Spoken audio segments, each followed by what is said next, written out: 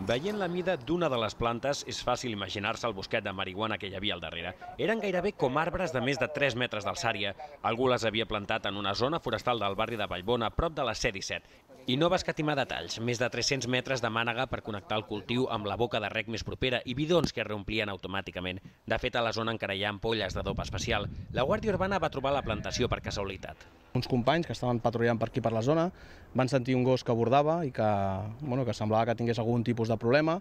Van anar seguint el rastre del gos que s'introduïa dins del que és la zona forestal i bé, i van donar amb aquesta, amb aquesta plantació il·legal que tenien aquí de, de marihuana.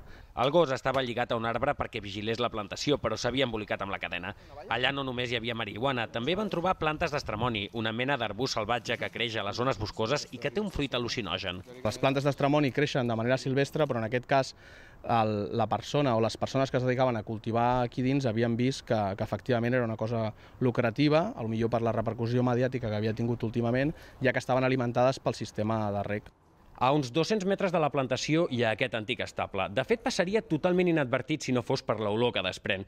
El feien servir per assecar la marihuana abans de distribuir-la. Aquesta mateixa tarda, els serveis de neteja s'ho han emportat tot cap a la incineradora per cremar-ho. En total, 15 quilos de marihuana i 5 d'estremoni. El que serà impossible descobrir és qui hi havia al darrere de tot això, perquè la plantació estava en una zona abandonada i el traficant no ha deixat pistes.